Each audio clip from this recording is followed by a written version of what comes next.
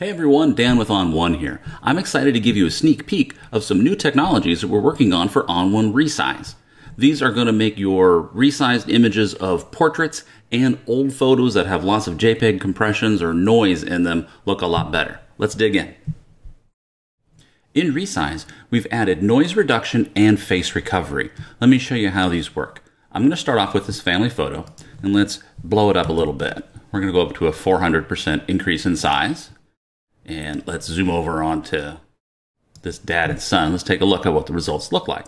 So this would be the old normal algorithm for doing the results. It was fine tuned for landscape photographers and wildlife photographers. It didn't do as well on portraits or photos that had lots of noise or lots of JPEG artifacts, which this photo has. So let me show you what it will look like now.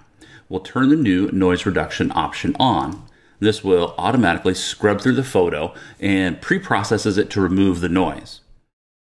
Now you can see that's done a really good job of reducing the noise and getting rid of those JPEG artifacts, but we still don't have the detail in their faces. That's where face recovery comes in.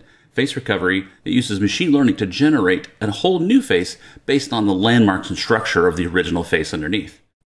It's pretty amazing what it can do. Let's take a look at a before and after. There's the original, and they're scaled four times with noise reduction and face recovery enabled. Let me show you a couple more.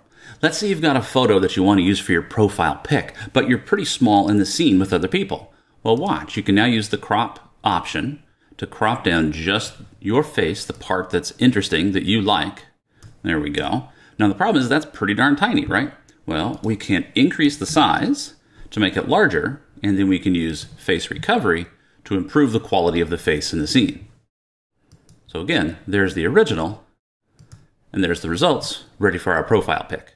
It does an amazing job at removing JPEG artifacts as well. This photo has a ton of JPEG artifacts. I'm going to do the same thing. Let's zoom in a little bit, and you can really see all those JPEG artifacts when we blow it up 400%.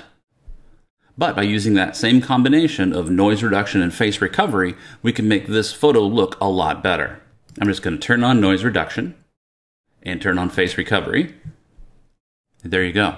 We are able to wipe away those JPEG artifacts, still have detail in the face. Let's look at the before and the after.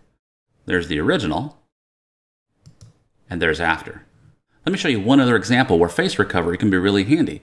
In a photo like this, where the face is actually a little bit out of focus. When we zoom in, you can really see that this face is a little bit out of focus. That's another place where face recovery can help. It can take the information from the out of focus face and turn it into a crisp, sharp face that matches your photo. So again, let's take a look at the before and after. There's before, out of focus, and after, in focus. What the heck, let's show you one more example.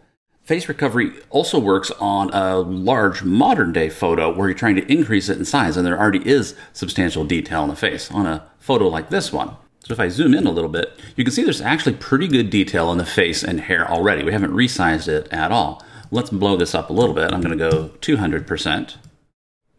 Let's take a look at the normal results. There we go. It's not bad. We see a little bit of crunchiness in the skin. Watch what happens when we turn face recovery on. Boom, much better. Natural looking texture in the skin, all the details in the eyelashes and the eyebrows and the hair. It's a great way to maintain all the detail in a portrait when you're scaling it up. I notice there's a little bit of JPEG artifacting in the sky. I'll just simply turn on the noise reduction and it's going to wipe those away. There we go. Let's look at our before and after. There's before and after. All right, there you go. Two great new features coming to Resize AI. The ability to reduce noise to take care of things like JPEG artifacts or noise or over sharpening artifacts, as well as face recovery, which will take your small and medium sized faces, make them look much better. There you go. Thanks for watching.